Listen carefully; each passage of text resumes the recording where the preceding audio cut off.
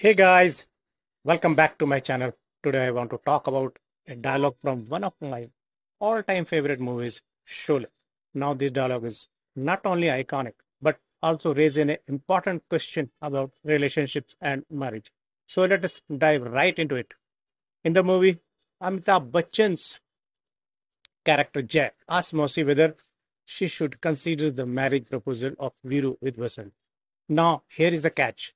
Viru is known for his gambling habits, regular drinking, and visits to the brothels. It's definitely a tough decision to make, right?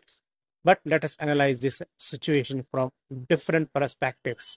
First, we have to understand what the guy does for a living and how much he earns. After all, financial stability is an important factor in any relationship. We need to know if he can support a family and fulfill his responsibilities.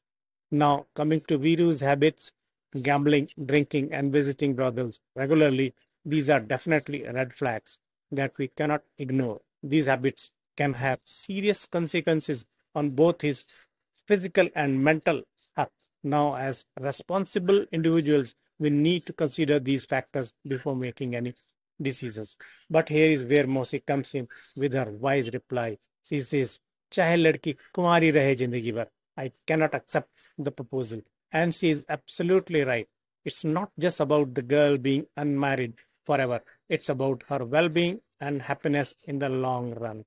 As viewers aged between 18 to 35, it's important for us to understand that a healthy and fulfilling relationship requires mutual respect, trust, and shared values.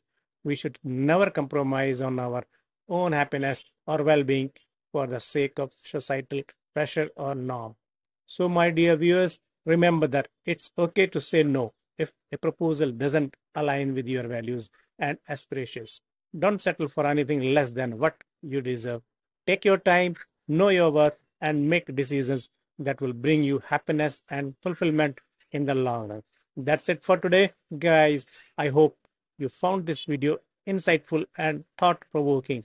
If you did, don't forget to hit that like button and subscribe to my channel for more such content.